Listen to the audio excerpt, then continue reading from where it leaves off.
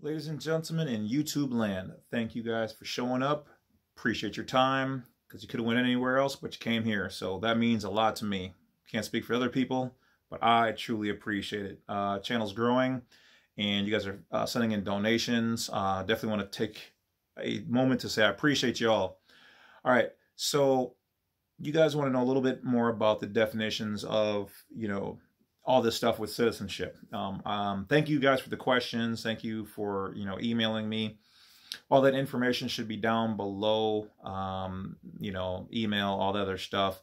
So, okay, so when you're born, all right, um, you are a national because you're born in that state. Each state basically is its own country. Okay, these are a whole bunch of countries, just like in the EU who um, have come together and recognize each other. And um, but they're also considered states. States and countries are synonymous. Okay so when you're born you're already a national.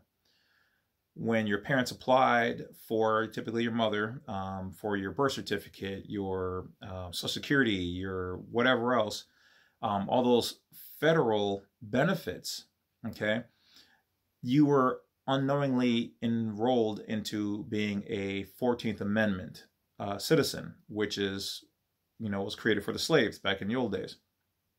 It's how the federal aspect of it uh, brings you in to basically be a citizen of the U.S. or the United States, not the United States of America, Republic.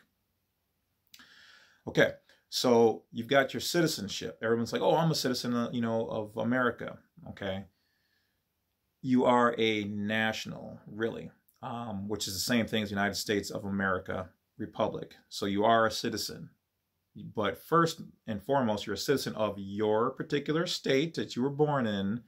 You are a citizen. You can also, I believe, get citizenship for the new state that you live in as well. Um, in the old days, states used to be able to issue passports, but I, I, think they took away those rights some time ago. So I think they can, but they pretty much don't do that. They allow just the, the federal aspect of it to handle that now. Okay, so what is a non-U.S. national? A national, a, you know, U.S. citizen, blah, blah, blah. Okay, so just jumping right in doesn't mean first or last is better. Um, a non-U.S. national, okay, means that you were born in one of the outlying territories um, or individual countries that the federal government, the United States, owns, like Guam, Puerto Rico, one of those. And we're for just for the sake, we're not going to get into that truly means it's a three star or three asterisk or whatever else, because like I said, we don't fully know what those mean. Um, but we have seen that typically they get those, but then also um, people trying to declare themselves as nationals have also gotten it. So we're just going to kind of leave that alone for right now. So a non-U.S. national means you were born outside of the uh, 50 states, okay? Because each state owns itself. The federal government wasn't allowed any land in that area, okay? So anything new that they got after the states were obtained, like Puerto Rico and Guam and whatever else, um, islands and whatever, uh, that's their land. They own that. That is part of the United States. And remember, the term the United States references the federal government. Okay. So that's a non-U.S. national. Okay. Because they're saying you don't, you're not without, you're not within the, well, you're within their term of the United States. So imagine, just take the word the United States to mean a corporation okay, like Starbucks, the Starbucks, okay? I know it's a little weird, but that's exactly what it is. So anybody born in the outlying islands and those areas are a non-U.S. national. A U.S. national means that, or also called a national um, or national of uh, the United States of America Republic or state citizen.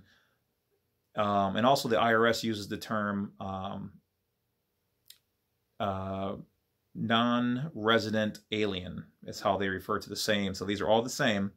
And that means you were born in your particular state and you have proof of that because of your birth certificate. I was born here um, and that's by your God-given right um, within the continental United States. You are a national, okay, or a state citizen, or a, you know, some people even want to throw in like sovereign American. Don't use that one. Um, in the old uh, cases and, and laws um, for common law, they would talk about, you know, an American and being sovereign and kind of throw in sovereign-ish American. Um, but don't use that. Cops hate that one. They hate that with a fiery passion because there is no book um, or passport or anything that claims uh, sovereign American. And all it sounds like to them. Remember, these people are they some of them are nice people and they're doing their jobs and and by code. Remember, these people are all like you know by code. Okay, there's no anything that says sovereign American. They understand diplomat. A lot of them will understand state state citizen, um, national, non-U.S. national. They know these terms, but officially there's no sovereign American. So don't get pulled over and claim I'm a sovereign American. You're it's just they don't understand it because in their world, remember, they're the ones with the guns. So just be cool. Um, you know you're right, but you're using the wrong terminology. And I'm only saying this because I used the wrong terminology from watching other people's videos. Um, and then had to find out for myself through friends and, you know, uh, family who are cops and stuff. Okay. So that's non-U.S. national. That's also national or U.S. national. I talked about that one.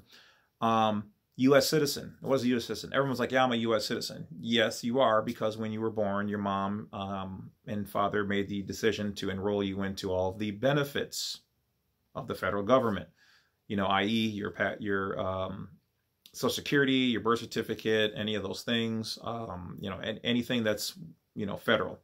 Okay, so what that really means is it means that you are a employee. They're recognizing you as being basically federal property. Okay, even in the military, they they typically write in all capital letters. Um, it also denotes a non-living entity, a corporation, um, a person, um, which by definition, a person is can be a corporation or a non-living entity or even a beast, you know, an animal. Um, so because that's how they've defined those things.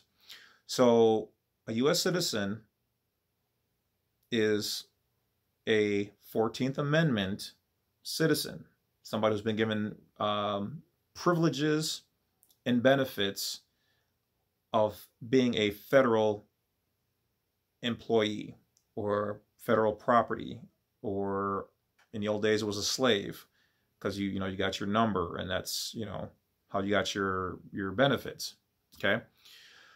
Um so those are the three off the top i can think of. Um, and those three are recognized you know, throughout the, the government system. So that's why if you look at your passport on the bottom, it will say, you know, under perjury and penalty thereof, blah, blah, blah, I declare that I am a U.S. citizen. Okay, which going back to that, it means a federal citizen, not a what everybody just thinks of as a typical I'm, I was born in America and I'm an American citizen. It's not what they're saying. Um, and or then it goes on to continue excuse me it then says or a non-us national okay? Both of which are still underneath the jurisdiction of the federal government okay? Um, that's just how it's written.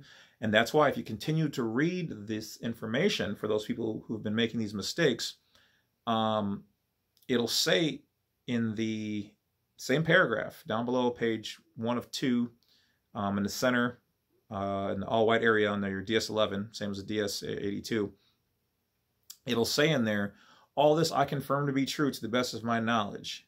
You know, and you take an oath to this. Okay. The next sentence then says, unless a, an explanatory statement, some people use the word affidavit, but I like to use their words. So get their words in your head. So they try to ask you, you're not saying, well, I supplied or submitted an affidavit. No, I submitted a explanatory statement. Okay. So when you fill it out, use explanatory statement on the top. When you so it says all this I confirm to be true unless an explanatory statement is provided, and that's where you're going to want to put in your declarations of exactly what you're claiming. Okay. Um, that then supersedes or overrides whatever you put on there. They take a majority of that information, they read explanatory statement, and so that's why they don't want you to cross out anything on the form. Do not cross out anything. Do not underline anything.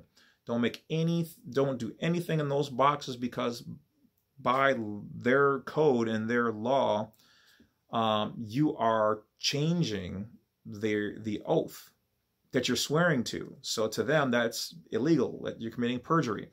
So you don't want to do that. They will deny you. You're, you're you've given them the excuse to deny you because you're kind of a slave waking up. And what happens when the whack-a-mole sticks its head out of the hole? Whack. Okay. So don't do it to save you some time and some money because they will continue to keep letting you screw up and take your money. And then, you know, you can ask them for the reasons why. Take some time. They give you a letter back. You're denied because of these reasons, and they, you know, because you altered the oath. You can't alter the oath. You just can't. It's theirs. Okay. But you can provide them with your version of it um, as you see fit, depending on how you want to, you know, declare that. Um, for those people who've already bought my version of uh, the explanatory statement, um, they've had great success with it. Um, it is time tested and proven, and but you can do your own. You can go online and get samples. Totally up to you. All right. So that being said, don't alter anything. You merely want to sign it. For those people who want to, remember this is for educational purposes only. You can also put um, without prejudice, all rights reserved, um, or UCC 1-308 over your signature, but I would suggest waiting until you have um, signed your name and then do it. For some reason, people have done it the other way, have had um, postal people and whatever else uh, not really want to accept it or give you a hard time. Um, but then there's also other ways to submit your passport, which would be through like the courts and some other places are starting to uh, accept uh, passport applications now too, as you know, as well. I kind of seen that online. So that's pretty much about it, guys. So that was just kind of a quick rundown. Well, not really quick, but a, you know, thorough, we'll say, um, of you know what a national is, what a non-U.S. national is, and what a U.S. citizen is. So, bang, you guys got that knowledge. Go out there and um, go forth, and you know, hopefully this will take you to where you're you need to be. If you're here you found this for a reason. So, you know, best wishes. Um, for those people who need consultation, uh, the information is down below. And real quickly, the way that works is you would, you know, send me the 50 and then shoot me your email and whatever else. Um, and then we end up talking once all that stuff is gone through and verified. Uh, a major- and like I said, a majority of the stuff, um, I keep it free in the videos. I put a majority of it. I mean, like literally like 90% of it is right here. And I even try to, you know, help you guys, you know, get all the rest of it. All right. But time is money and well, no one, you know, just pays my bills. so, you know, if you need it, I'm here. Um, but a lot of the majority, a lot of the information is just in the videos. So I highly recommend you just going back and watching some of the videos. Because even like some of the smallest things you guys have questions on, which I don't mind having questions, um, are in those other videos. So just kind of go through, and obviously not all of my videos are about passports. I have other stuff on there, um, and there will be some other stuff that aren't this, because I've really exhausted um, pretty much everything about this. So once the final one comes back, depending on how it's marked, if marked, um, that'll probably be the last video um, I need to do until they change, you know, something with that and then I'll keep you guys updated. So anyway, guys, I'm out of here. Thank you for, you know, checking out the video. Don't forget to hit that bell, like, subscribe, support your boy, the Bad Wolf. Share these videos and judging by the numbers, you guys are. So thank you in advance. Have yourselves a wonderful day. Peace out.